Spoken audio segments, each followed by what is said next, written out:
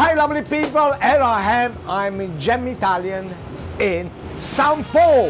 Yes, I'm gonna cook this fantastic rabbit with the pumpkins. Yes, rabbit pumpkins, you hear me right. I got these fantastic rabbits, which are lovely fresh. You can actually butcher. It will get the rabbits ready for you, also debone as well.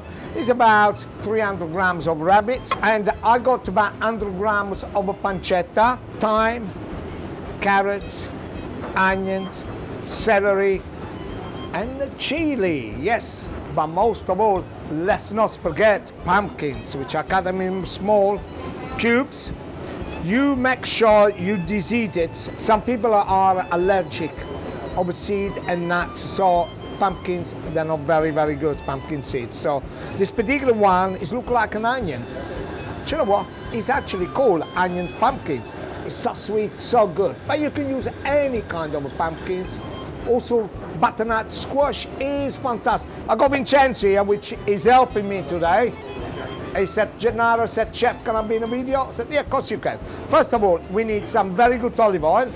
Just about two tablespoons of olive oil. Pancetta, straight in. Rabbits go straight in. I put them inside pancetta. The reason why, because the rabbit is very lean meat. So you need a kind of little bit of fat to get inside to help it to give it a fantastic flavor. At this stage, go in with the celery, onions, carrots, and the whole twig over thyme. Got chili. Just put them all in. Look at that, it's all nice and still. Now it is time for the pumpkins. It's about 250 gram. Season a little bit, little pepper for spice. At this stage, we go in with wine. The wine, you drink it, the wine, you use it. The alcohol will evaporate and the beautiful flavor of wine goes inside. I need to get some stock because we need to put some stock inside. So here, I made a lovely stock with the skin of the pumpkins, onion, celery, everything I used. Just pick some up. Stir it nicely. Do you know what? Gem we don't have any lids. So I just cover one of this and slowly, slowly, slowly let cook for about 35 minutes. Fantastic.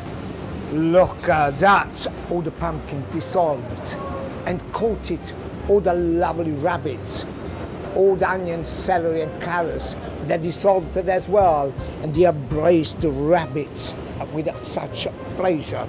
And the thymes, look, lost all those beautiful leaves which just a stalk is here. So easy to remove it this way. Here I made some fantastic polenta. To go so well with the rabbits. If you wanted to see how to make polenta just click at the end of the video. So let's plate it. This is will be enough for about two peoples. I need to grate some parmesan. Oh my my. So good I fried some lovely sage leaves. It's fantastic. Here, I have some crispy Sardinian bread. Just put them on the side.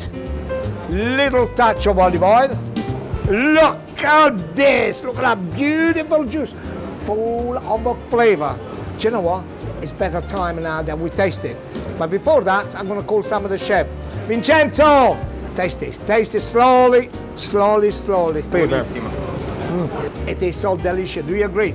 Agree, chef. Amazing. What do you mean? You look at amazing. I love the words of amazing. Rabbit with pumpkin served on homemade polenta. If you want to see me making more these fantastic dishes, don't forget to subscribe.